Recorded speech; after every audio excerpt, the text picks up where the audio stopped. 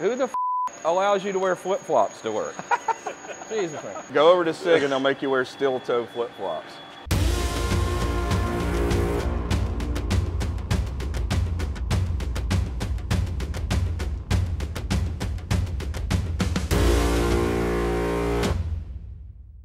Everyone watching is familiar with Q, but no one thinks of Q as an AR-15 manufacturer. Q makes, of course, the bolt action fix and the mini fix. They make suppressors and they make the infamous Honey Badger. The Honey Badger is perhaps their most well-known product and it's extremely expensive. That's me saying that. So several years ago, Q releases what they call the poor man's version of the Honey Badger called the Sugar Weasel. The Sugar Weasel uses more common and less expensive AR-15 parts versus the proprietary parts in the Honey Badger, but I don't think it garnered a lot of attention in the gun community because it was more or less seen as the Honey Badger we have at home. More recently, however, Q's remodeled the Sugar Weasel to not be a watered down Honey Badger, but to be a premium AR-15 at a mid-range AR-15 price. And unlike the Honey Badger or previous versions of the Sugar Weasel, this newer variant of the Sugar Weasel is going to be a 16-inch 223 caliber rifle that accepts AR-15 parts and furniture, and this is what's going to make it so disruptive in the AR-15 market. I got to see the 16-inch full-size AR-15 style Sugar Weasel being assembled at Q's headquarters in New Hampshire, and I was blown away, not just with the quality of the parts and assembly, but with the sheer volume of guns they were turning out. Q's sales department told me that gun shops can rarely keep the 16-inch version of the Sugar Weasel in stock for more than a few weeks, and that they're selling every single one they can make. It's becoming one of their best sellers, if not not their bestseller. Why is that? I'm a big fan of Bravo Company, Daniel Defense, and LMT for premium AR-15s, but they're all pretty similar. They've got some minor differences. Bravo Company makes a great AR-15 for about 1500 bucks with the bomb-proof MCMR rail system. Daniel Defense they're going to be around the same price with their excellent lightweight MFR rails and their cold hammer forged barrels used by Spec Ops, not to mention the RIS 3 rail, which is incredible. LMT, Knights Armament, Geissele, they have numerous military and law enforcement contracts. They enjoy a reputation as making some of the best AR-15s in the world, but it's also not unusual to see those brands go for over $2,000 for a pretty run-of-the-mill AR-15. So here's where the Sugar Weasel kind of shakes things up. Street price on these guns is between $1,500 and $1,600, but the Sugar Weasel is anything but another AR-15. Yeah, it'll accept regular AR-15 parts, but it comes from the factory loaded to the gills with options that you have to pay for with all the other brands that I've mentioned. It comes with a premium trigger, which Q calls literally the best trigger ever made. Literally. Literally the best trigger ever made. Right. Um, totally designed, made in house. So we have the fixturing, uh, for it, we go ahead and build these up ahead of time too for production for the firearms that takes them the next week. What, what makes it literally the best trigger ever made? So in all these little things you can't feel, but how smooth the creep is, you don't find that in any other trigger system. So they'll cycle it, do it a few times, and these should overlay perfectly. Holy shit. Yeah. The thought and engineering and testing that went into it. Mm -hmm. So what that means to you is you've got a, a two and a half pound two stage trigger with the the most crisp break you'll find out of anything, the shortest reset available, and it's actually drop safe. Uh, it will drop into any mil spec gun, mm -hmm. any mil spec gun, mm -hmm. and operate correctly. You can engage the safety, and the trigger works. It also comes with a full length M-LOK handguard, a stainless 1MOA barrel, premium controls like the charging handle and a 70 degree safety selector, tapered muzzle with a cherry bomb muzzle device for quick attachment of suppressors. Incredibly, it's going to come with an adjustable gas block so you can tune your rifle for use with your suppressor. All this, and it weighs just six pounds, which is amazing. My man, can we pull a scale out and weigh something? I bet you can. Look at these. Who the allows you to wear flip-flops to work? Jesus, Is this the uniform? Yeah, is this the official? Yeah, that's right. Look at this, it's the official Q uniform right here. yeah. Uh, Go over to SIG and they'll make you wear steel toe flip-flops.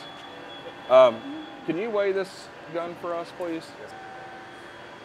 That thing's not nine pounds. What, do you know how to operate the scale? I thought this was going to be the easy part. What are you guys doing? There we go. Now we got pounds. Well, we have to have a shipping meeting today. All right. 6.1. No, no, let's remove that chamber flag, please. That's that That's, point that's yeah. right there. Thank you, my man. Bam! Call that six. I'm rounding that down. 6.09. And it's going to cost less than all the other plain Jane premium AR-15s out there on the market. You buy the Sugar Weasel, an optic, a sling, and a silencer, you're simply done. There's nothing else you need to do. To be fair, Q does very little manufacturing in-house compared to some of the other manufacturers. So that's a sub-assembly that will go ahead when we have parts that, that uh, we manufacture come in from vendors. We QC them. They go into inventory, and uh, a few of the guys here, it's their job to build up the sub-assemblies for production every week. So for rifle production. Q's pride is not only in their engineering, but in their quality control. So they can design and manufacture components in-house, send those parts out, have vendors manufacture the parts for them, then they have this massive quality control lab back at headquarters at Q to make sure that the parts that they're getting back from their vendors meet spec, and then they do a bang up job of assembling these rifles. I got to walk around the warehouse and see these guns get made with Q's founder, Kevin Brittingham. So come along with me, James Reeves, and see why I think the Sugar Weasel is going to seriously turn the AR 15 market inside out. This is our basic AR series, the Sugar Weasel, and a lot of the, the company was against my decision to do a basic gun, but I wanted something, a couple things that we could produce in volume. So there's some common parts with ARs, more than the Honey Badger. And then also at a price point that would be an entry level product for customers to Q. Now this is still an expensive gun, but nothing we ever do is gonna be cheap. Um, but you know the advantages. This gun with a 16 inch barrel is clear anodized. You get the Radian charging handle, which you know we designed the narrower one and helped them to make this thing mil spec. Same thing with the selector, 9 degree selector. 9 degree instead of 45 because, or 70, sorry, 70 degree instead of 45. Uh, or 90 because 70 is as yeah it's more ergonomic it's faster than 90 but it is the smallest angle you can do and it be safe by all the mil spec tolerances. So a 45 might be safe in your gun, but it might not be safe in another gun you Right. have. So that's why I went with 70. It has literally the best trigger ever made in it. Um, it has adjustable gas block, the lightest one ever done. We don't pin the gas block. We use a gas block jam nut like Knight's Armament or Barrett, uh, tapered muzzled. So it's kind of cool that the muzzle device isn't on this yet, so you can see. We use that taper, and what this taper does is gives you the best alignment possible, and also uh, you don't have to use shims or anything or Rocksett. It will never come loose. So it's slightly off a self-locking taper. So it requires, you install the muzzle device, it requires 20% more torque to remove it than it does to install it. So that's a great thing. So just the thought that went into this, like I said, all clear anodized, comes with the Magpul stock. Um, why was there opposition to it? You said whenever you wanted to do this, there were people that said, no, that's a bad idea, Kevin. It was just too basic that it would damage our brand. I mean, it was kind of a thought at the beginning. And, yeah, I mean, they, they had a good point. A lot of the guys had a good point. You know, on this, we're putting M-LOK on it right now. Probably uh, over the next year, there'll be a different version or it'll start coming with a Q-Cert handguard. But, you know, it's like we're not a basic company. But the idea is that it's my job to explain to people it's an AR, but it has all of these advantages. And so it's a great value. And it's not just a basic gun.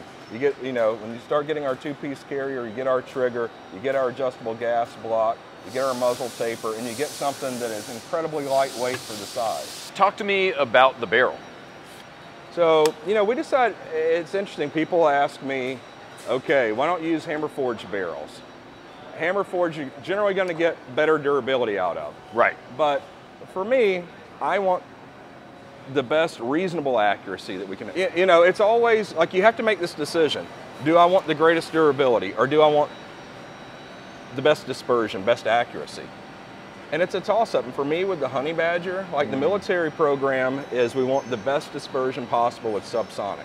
So our best opportunity is to use a stainless barrel, you know, whether it's uh, uh, cut or button, we've gotten great results from that, but we get better accuracy with those than we have traditionally with hammer forged. And that's what I was going to ask because this is the point right now in the video where people say, no, that's an excuse for cost cutting. What would your response be? No, I can get hammer forged barrels as the same price I can get these. Okay, so, it's, just not a not a cost cutting issue at all. Same No, price. and uh, one thing which I think you'll probably see some hammer forged barrels from us and some guns, but most people do a hammer forge and they cut the chamber. And so a lot of times the accuracy and stuff will depend on the concentricity of the chamber to the rifling. But when you do uh, hammer forging, you can do the rifle and chamber at one time Right. with one mandrel. That's the way to do hammer forging. And there's an argument for that. Ah, I, And- I, and I know a company that does that. yeah, so there are several, and there's some that do it well and some that don't. But you know, like um, the last time I knew, some of the companies here in America that have hammer forging, they all cut the chambers after the fact. Right. And it's it's like such a waste. You can do Yeah. it. The mandrel's more expensive, and you have to have more of them for the different chambers. But it's just the way better. way to it's the it. right way to do it. Now, some people say, "Oh, my hammer forged gun, it shoots, you know, half MOA," and you probably do, but get a hundred of them, and then Uh-huh. average those groups and average the groups of, you know, a This stainless be match barrel What kind of accuracy do I expect out of this barrel? With, With good with- ammo. with yeah, ammo. yeah, yeah. I, you know, I just say all of our guns are under one MOA, Mm-hmm. and, and the reality is most of them are half of that. But you know, we're producing thousands of guns. Me with this gun, I can shoot three quarter MOA with match ammo. There are people that can shoot it better than me.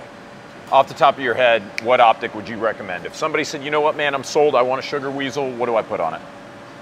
The six, if you get a 16 inch, I assume you're going to shoot far, you know, or potentially shoot far. So I love like the Vudu 1 to 10. Um, I like that new Leupold 2 to 10 Mark 5. Yeah, yeah, yeah, There's a lot of great scopes on the market. You know, the 1 to 6, the 1 to 8s, the 1 to 10s, good quality with a reticle that you like.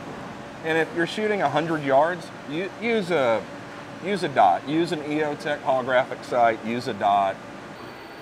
Wonderful. Yeah, six pounds. Six pound gun. That is that is pretty good. I mean, for Full length handguard. That's pretty adjustable effing good. gas Yeah, yeah. block. Yeah. I it's mean. I, I think that probably weighs less than a Thank you, Mom. 6920 with plastic furniture. What's the 6920? A Colt? Yeah, the M4. I mean, 16 inch version, civilian version, of the M4. No, I would I would say I don't know. It doesn't make a lot of sense to have a gun, 16 inch AR over six pounds. Mm. So- Would you ever think about shortening the handguard?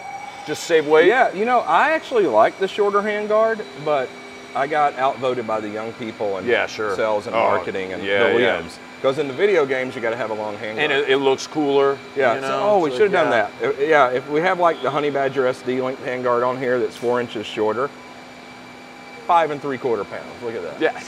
So once the guns are QC'd, test fired, um, everything works out in test fire, no adjustments need to be made. They come here, they're cleaned, another final visual inspection, and then they're put in a box and shipped. So, what did you guys think? Is this going to be a game changer or is it just another AR to you? I've only gotten to shoot a few magazines through the Sugar Weasel, but I was very impressed with what I saw. Obviously, I'm going to request one for T&E and we'll see how it runs. But in the meantime, until the TFB TV review comes out, the Sugar Weasel is looking pretty sweet. Guys, thanks as usual for watching. If you enjoy this content, we did not accept money from Q to make this video. We don't accept money for positive endorsements of product. We rely on you. We are viewer supported. Please think about supporting us. Subscribe Star or Utreon or Patreon, whatever the case may be. But if you're on Subscribe Star or Utreon at the $5 level or higher, you're automatically entered to win one of $1,900 in gift certificates that we give away. That's six $250 gift certificates to Top Gun Supply, your online shooting sports superstore, and four gift certificates for $100 each to Blue Alpha, makers of the best gun belt that money can buy. But we just appreciate the fact that you're watching. Take care.